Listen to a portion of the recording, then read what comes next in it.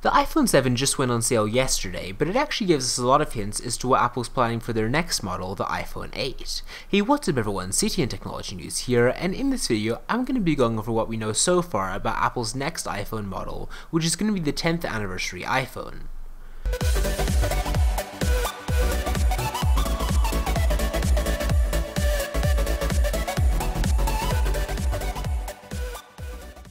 So the introduction of the original iPhone in 2007 in the App Store the following year marks dramatic leaps forward in the world of mobile devices, but Apple really hasn't had a lot of breakthrough moments like that since then. Its track record over the last few years shows a slow amassing of features over several generations that contribute something bigger down the line. For instance, Siri was the digital voice assistant unveiled in 2011, but it's just now beginning to show its full potential, as Siri now works with HomeKit and an increasing array of apps. If history repeats itself, the new elements of the iPhone 7, the new static home button, the dual lens camera on the 7 Plus, and even the move away from the headphone jack may prove to be the foundation for some bigger changes down the line. If you're not happy with this year's edition, Apple's big 10th anniversary iPhone could be where the company really pulls out all the stops.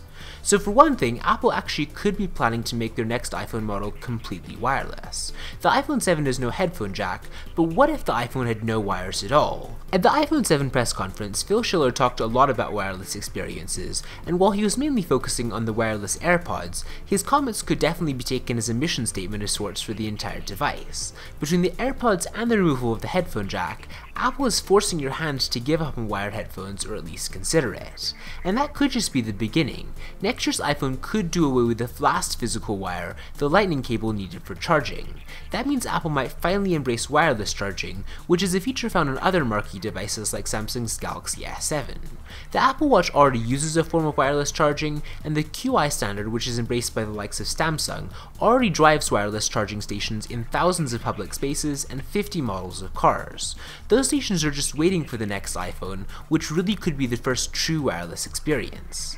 Bluetooth 5 meanwhile promises to quadruple the range and double the speed of existing Bluetooth technology, and it might really be the answer to those skeptics who still shun wireless headphones. With Bluetooth 5, basically any pair of headphones should work pretty reliably, since the new version of Bluetooth which could come as soon as this year could also mean more things in a home being paired, or also faster communication with the Apple Watch.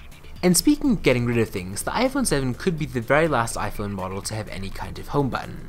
All the iPhone 7 really has is a circular indentation which doesn't click at all, it just provides a simulated click when pressure is applied via haptics. It's not a far reach to see that button just completely go away in favor of controls moving onto the screen, since the haptic feedback beneath the phone could mean that any part of the device could make for a virtual home button. As early as last year, I was beginning to think that Apple was setting up this move with the iPhone 6s, but it sounds like they're pushing pushing it out just a little bit further. No home button means you can cram a larger display into a smaller body, and a lot of times that's really what people want. Now apart from everything I've said so far about the iPhone 8, one final feature that could be coming to Apple's next phone might have been hinted at with the new Apple Watch.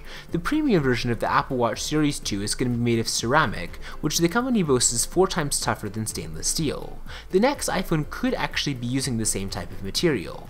After all, the Apple Watch was the first Apple product to use the Taptic engine, which now powers the 3D Touch and Home button on the iPhone 7. Perhaps the ceramic Apple Watch serves as a test run for Apple's next iPhone. But anyways, that's pretty much all just my conjecture at this point. There's no guarantee that Apple's going to be doing any of this. I'm going to be trying out the iPhone 7 in just a couple of days, so definitely stay tuned for that. But in the meantime, give me your opinions on what you'd like to see Apple to release in the future in the comment section down below. Give this video a thumbs up if you enjoyed it, and I will see you next time.